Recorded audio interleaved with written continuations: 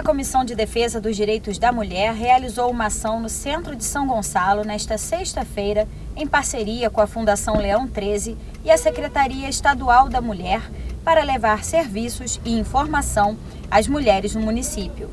Ao longo do dia, foram distribuídos panfletos sobre violência doméstica, feminicídio e os direitos garantidos pela Lei Maria da Penha. A Fundação Leão 13 participou da atividade garantindo a isenção para a emissão de documentos, como carteira de identidade, certidão de nascimento e casamento, além de identificação civil para a população de rua gratuitamente. Eu queria uma, uma nova, mais atualizado, né, que mudou, tanto a certidão de nascimento quanto a identidade. E para você fazer a segunda via, eles colocam você para fazer em lugares muito distantes. Quando você entra no site do Detran, para queimados, vassouras, e tem uma quantidade boa de Detrans por aqui.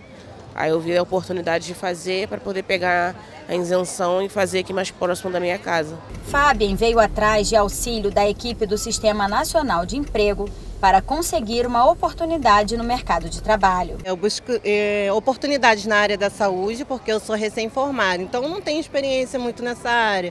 Concluí meu curso de técnica de enfermagem, mas está bem difícil. Então me auxiliou ir no Cine, que tem aqui próximo, e aí atualizar com meus cursos, concurso, essas coisas. A presidente da comissão conversou com as comerciantes da Feira da Mulher Empreendedora e esclareceu dúvidas da população. A parlamentar falou sobre a importância da atividade que vem sendo realizada em vários municípios do estado. A gente tem a política muito no centro, né? muito na capital.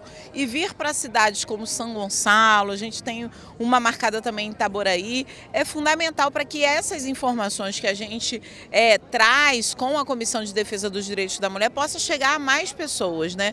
E não, de repente, esperar que a pessoa vá até a Assembleia Legislativa. Então, estar na rua é poder conversar com essas mulheres, dialogar sobre os direitos dela, porque muitas vezes essa mulher está passando por uma situação de violência violência e ela não se compreende numa situação de violência. A deputada Renata Souza também falou sobre os serviços que são prestados na Alerj pela comissão com esclarecimento, suporte e acolhimento das mulheres, por exemplo, com a Sala Lilás, que faz o atendimento para as mulheres vítimas de violência doméstica primeira sala lilás em parlamentos no Brasil. Então a gente faz o acolhimento com a equipe multifacetada. Então a equipe tem assistente social, advogada e também psicólogo.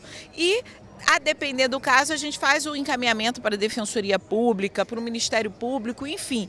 A gente tende a dar um acompanhamento geral para essas mulheres. Só para vocês terem uma ideia, no ano passado, é, apenas um ano da existência da Sala Lilás na Assembleia Legislativa, já atendemos mais de 300 casos.